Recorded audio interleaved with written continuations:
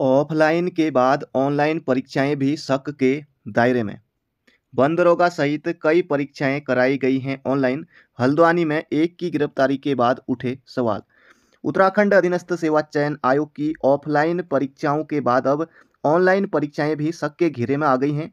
रविवार को एसटीएफ ने हल्द्वानी से जो आरोपी गिरफ़्तार किया है, उसके हल्द्वानी व आसपास के क्षेत्र में चार ऑनलाइन परीक्षा केंद्र हैं जिन पर वह कई परीक्षाएँ करा चुका है।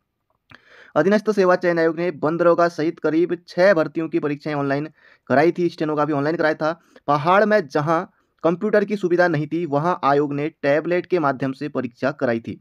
रविवार को एसटीएफ ने हल्द्वानी से जो आरोपी गिरफ़्तार किया है, वह खुद के चार ऑनलाइन एग्ज़ाम सेंटर चलाता था। इन सेंटरों पर आयोग की परीक्षाओं के साथ सीबीएसई व अन्य परीक्षाएँ ऑनलाइन कराई जा चुकी हैं। सवाल उठ रहे हैं कि आयोग की भर्ती परीक्षाएँ इन सेंटरों पर सुरक्षित होंगी या नहीं? वहीं आयोग की कई ऑनलाइन भर्तियों में भी सवाल उठने लगे हैं। कुछ परीक्षाएँ कराने के बाद रुक गया था आयोग। अधीनस्थ सेवा चयन आयोग ने कुछ परीक्षाएँ तो ऑनलाइन कराई, फिर इन्हें रोक दिया। आयोग दोबारा ऑफलाइन मोड में ही परीक्षाएँ कराने लगा। आयोग के पूर्व अध्यक्ष एस राजू से बातचीत में यह स्वीकार भी कर चुके हैं कि ऑनलाइन व ऑफलाइन परीक्षाओं में अलग अलग गैंग काम करते हैं। आयोग की फ़िलहाल कोई भी परीक्षा ऑनलाइन प्रस्तावित नहीं है। अभी तक तो फ़िलहाल नहीं है, ज़्यादातर जो एग्ज़ाम है वो। ऑफलाइन ही होंगे, लेकिन कब होंगे, ये फ़िलहाल किसी को नहीं पता। कोई कितना भी पहुँच वाला हो, पेपर लीक में नहीं बचेगा। ये तो दोस्तों अब आने वाले समय में ही पता लगेगा, वक्त बताएगा कि अब क्या होता है उत्तराखंड में।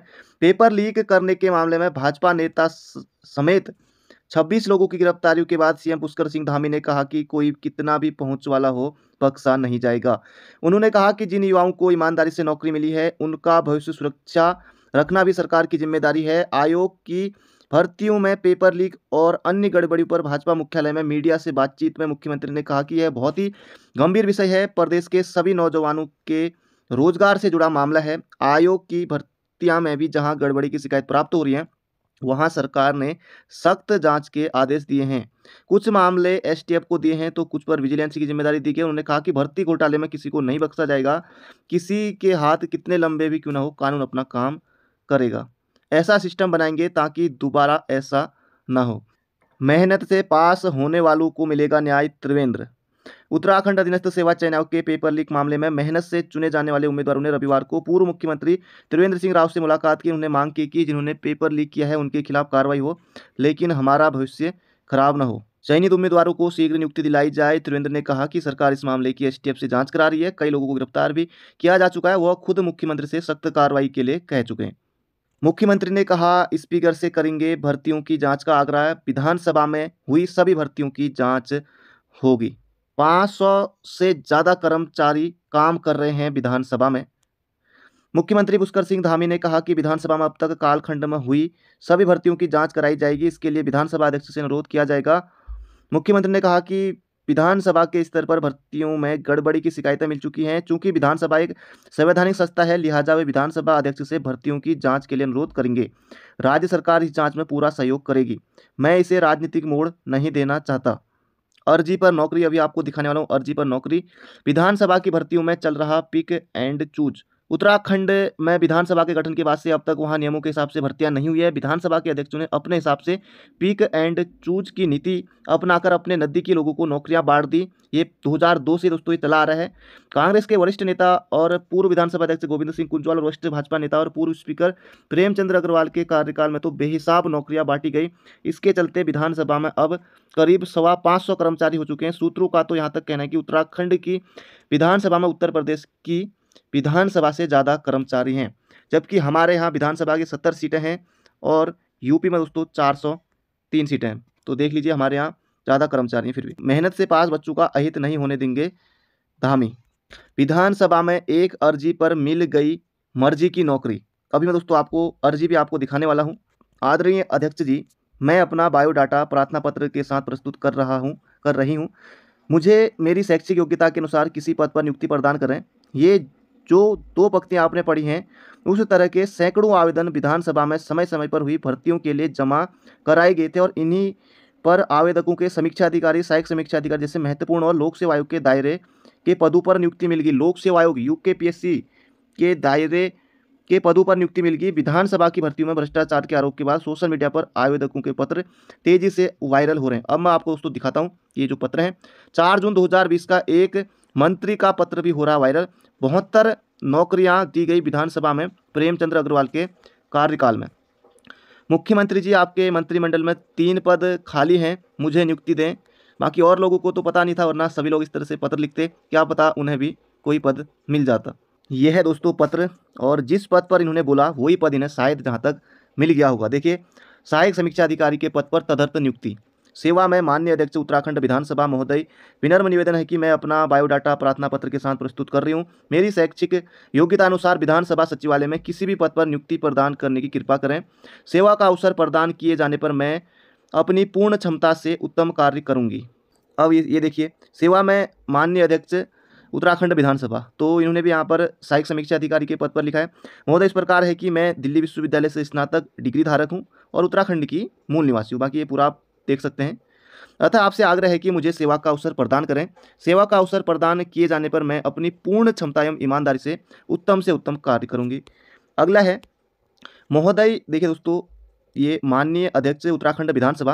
महोदय सविनय इस प्रकार है कि मेरी शैक्षिक योग्यता इंटरमीडिएट है तथा मैं बेरोजगार युवक हूँ। मुझे विश्वस्त सूत्र से ज्ञात हुआ है कि विधानसभा सचिवालय में कुछ पद रिक्त हैं। अतः आपसे अनुरोध है कि विधानसभा सचिवालय में किसी एक पद पर नियुक्ति प्रदान करने की कृपा करें। इस हेतु मैं और मेरा परिवार सदैव आपका आभारी रहेगा। वाह वाह, क्या बात है, क्या बात है। इन्होंने दोस्तों मांगा है रक्षक का पद, समीक्षा अधिकारी का पद नहीं मांगा। ये है, देखिए यहाँ पर एक और है, विधानसभा सचिवालय में नियुक्ति के संबंध में। तो अपना पूरा, अपना नाम, पिता का नाम, इस तरह से अल्मोड़ा का स्थायी निवासी पराथरी शिक्षित नए युवक है, कंप्यूटर का भी अच्छा ज्ञान है। अब ये देखिए दोस्तों। अतः महोदय, से अनुरोध है कि प्रात्री की योग्यता अनुसार विधानसभा सचिवालय में कंप्यूटर ऑपरेटर, बाकी सहायक समीक्षा इतने सारे पद हैं, किसी भी एक पद पर नियुक्ति प्रदान करने की कृपा करें और उससे भी ज़्यादा महत्वपूर्ण लाइन दोस्तों पराथरी व उसका परिवार आजन्म आभारी रहेगा। ये देखिए पराथरी व उसका परिवार आजीवन आपका आभारी रहेगा। नियुक्ति के संबंध में सादर आपकी सेवा में बायोडाटा इस पर, इस निवेदन के साथ प्रस्तुत कर रहा हूँ। मेरी शैक्षिक योग्यता अनुसार विधानसभा में किसी पद पर नियुक्ति प्रदान करें। किसी पद पर समीक्षा अधिकारी के लिए मांगा है और मैं सदैव आपका आभारी रहूँगा। ठीक हो गया है। अब ये देखिए एक और है। ये भी सहायक समीक्षा अधिकारी का पद मांग रहे हैं छियालीस सौ ग्रेड पे। पत्र लिखकर, सेवा का अवसर प्रदान किए जाने पर पूर्ण क्षमता से उत्तम कार्य करूँगा, करूँगी। विधानसभा सचिवालय में शैक्षिक योग्यता किसी पद पर नियुक्ति। अब ये देखिए दोस्तों, ये यहाँ पर इस प्रकार है कि डिग्री धारक हूँ, उत्तराखंड की मूल निवासी, ये सब। अतः आपसे आग्रह है कि सेवा का अवसर प्रदान करें। सेवा का अवसर प्रदान किए जाने पर अपनी पूर्ण क्षमता ईमानदारी से, ये देखिए। विधानसभा में सरकारी सेवा हेतु सचिव रक्षक के पद पर ये मांग है। सर्वप्रथम मैं आपको अपनी स्थिति के बारे में अवगत कराना चाहता हूँ कि मैं एक गरीब परिवार का सदस्य हूँ और एवं परिवार की आर्थिक स्थिति ठीक नहीं है। महोदय, मेरी शैक्षिक योग्यता स्नातक है। मेरी स्नातक की अंक पत्र की प्रति संलग्न है। अतः महोदय से निवेदन है कि मुझे मेरी योग्यता अनुसार विधानसभा में सरकारी नियुक्ति देने की कृपा करें। प्रार्थी महोदय का आजीवन आभारी रहेगा। देखिए सविनय प्रार्थना है कि मुझे ज्ञात हुआ विधानसभा में रक्षक, परिचालक के पद रिक्त हैं। मैं एक अनुसूचित जाति का गरीब परिवार का बेरोजगार युवक हूँ। मैंने हाई स्कूल तक शिक्षा ग्रहण की है। मेरी शैक्षिक योग्यता अनुसार किसी भी रिक्त पद पर नियुक्ति प्रदान करने की कृपा करें, मैं आपका आजीवन आभारी रहूँगा। विधानसभा में हुई भर्तियों के जाँच के पक्ष में सीएम धामी बोले, विधानसभा अध्यक्ष से करेंगे अनुरोध। इसी सप्ताह कनाडा से उत्तराखंड लौट सकती हैं विधानसभा अध्यक्ष।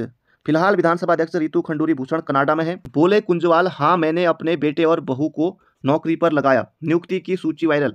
मेरे कार्यकाल में एक सौ अट्ठावन लोगों को तदर्थ नियुक्तियाँ दी गई थी। आठ पद पहले से खाली थे। डेढ़ पदों की स्वीकृति मैंने तत्कालीन सरकार से ली थी। उत्तराखंड विधानसभा में ही भर्ती के मामले में पूर्व अध्यक्ष प्रेमचंद्र अग्रवाल के साथ गोविंद सिंह कुंजवाल के कार्यकाल में हुई भर्तियों पर भी सवाल उठ रहे हैं। दोनों के कार्यकाल में नियुक्ति पाए लोगों की सूची सोशल मीडिया पर वायरल हो रही है। कुंजवाल का कहना है कि उन्हें यह कहने में कोई गुरेज नहीं है कि उन्होंने अपने बेटे और बहू को विधानसभा में उनकी योग्यता अनुसार नौकरी पर लगाया है। कुंजवाल ने कहा कि मेरा बेटा बहु बेरोजगार थे, दोनों पढ़े लिखे थे। अगर डेढ़ सौ से अधिक लोगों में मैंने परिवार के दो लोगों को नौकरी दे दी तो कौन सा पाप किया? बकौल कुंजवाल, मैं स्वीकार करता हूँ कि मैंने अपने विधानसभा क्षेत्र के 20 से 25 लोगों को नौकरी दी है जागेश्वर विधानसभा के। तमाम लोग भाजपा और कांग्रेस नेताओं की सिफारिश पर रखे गए थे। संविधान के अनुच्छेद एक सौ सतासी के तहत विधानसभा अध्यक्ष को यह अधिकार प्राप्त है कि वह ज़रूरत के अनुसार तदर्थ नियुक्तियाँ कर सकता है। कहा कि मैंने अपने तमाम रिश्तेदारों को नौकरी पर रखा है, इतना ही कहूँगा कि हर कुंजवाल मेरा रिश्तेदार नहीं है, जाँच को मैं तैयार हूँ। दोस्तों, ये अनुच्छेद ज़रूर से याद कर लीजिए। इसके आधार पर नियुक्तियाँ मिल सकती हैं। आगे बढ़ते हैं अब। पेपर लीक चंदौली का नकल माफिया, गिरफ़्तार, नैनीताल के एक रिजॉर्ट में 35 अभ्यर्थियों को याद कराए थे प्रश्नों के उत्तर, सभी चिन्हित। टीटीईटी में नकल कराने के मामले में भी आरोपी के खिलाफ दर्ज है। मुकदमा। शशिकांत ने उत्तराखंड के हल्द्वानी, अल्मोड़ा, चंपावत और पिथौरागढ़ में चार ऑनलाइन परीक्षा केंद्र खोले गए हैं। एसटीएफ के मुताबिक इन परीक्षा केंद्रों पर 40 से अधिक ऑनलाइन परीक्षाएँ कराई जा चुकी हैं। सीबीआई जाँच की मांग को लेकर कांग्रेस का प्रदेश व्यापी प्रदर्शन। चंपावत में तीन लोग रडार पर हैं। चौहान को रिमांड पर लेगी एसटीएफ। पेपर छापने वाली कंपनी के चयन में भी आयोग ने की लापरवाही तो ये बिल्कुल सही बात है। पेपर लीक से घिरे अधीनस्थ सेवा चयन आयोग ने कंपनियों के चयन में लापरवाही बरती है। आयोग के एक्ट के हिसाब से तो हर साल कंपनियों का चयन या नवीनीकरण होना चाहिए, लेकिन सूत्रों के मुताबिक आरएमएस कंपनी का कई सालों से नवीनीकरण नहीं हुआ था, इसीलिए ये सब हुआ। विधानसभा में भर्तियों पर भाजपा, कांग्रेस में पोल खोल की जंग। रेवड़ियों की तरह बाटी सरकारी नौकरियाँ। मैंने भ्रष्टाचार नहीं किया है, किसी भी जाँच के लिए तैयार हूँ। 500 कर्मियों की पंथ ने की थी सिफारिश कुंजवाल। तो कुंजवाल का ये कहना है, कुंजवाल ने कहा कि विधानसभा गठन के बाद तत्कालीन विधानसभा अध्यक्ष प्रकाश पंत की अध्यक्षता में बनी समिति ने उत्तराखंड में 500 कर्मचारियों, अधिकारियों की नियुक्ति की सिफारिश की थी। छोटी बड़ी विधानसभा से फ़र्क नहीं पड़ता। प्रेमचंद ने भी कुछ गलत नहीं किया। तो कुंजवाल ने यह कहा है, ये देखिए कुंजवाल के तेरह रिश्तेदारों के साथ प्रार्थना पत्र भी वायरल। इन पर सीधे लिखकर दी गई नियुक्तियाँ, जो पद मांगा, वो इन्हें मिल गया। नियुक्तियों पर कोर्ट की मोहर, कुंजवाल। लेक्चरर भर्ती के इंटरव्यू में हुआ खेल, लिखित परीक्षा के टॉपर इंटरव्यू में कम अंक मिलने से हो गए थे बाहर। पंद्रह लाख में पेपर खरीदा, फिर भी नहीं हो पाए पास। नैनीताल के जिन दो रिचॉर्ड डिंगता और अल्पाइन में पेपर सॉल्व कराया गया। उसमें पेपर लीक कराने वाले गैंग ने करीब साठ युवाओं को बुलाया। उन्हें पेपर के सवालों के जवाब याद कराए गए थे। नकल को भी अकल की ज़रूरत होती है, यह कहावत इस पेपर लीक में साबित हुई।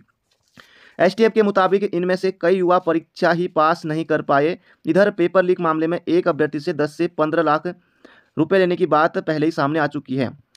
अजय सिंह के मुताबिक दोनों रिजॉर्ट के सभी रिकॉर्ड लेकर जाँच की जा रही है। प्राथमिक जाँच में सामने आई कि बहुत से अभ्यर्थी पेपर पास नहीं कर पाए हैं। उसको सत्यापित करने के लिए एसटीएफ की एक तकनीकी टीम लगी हुई है।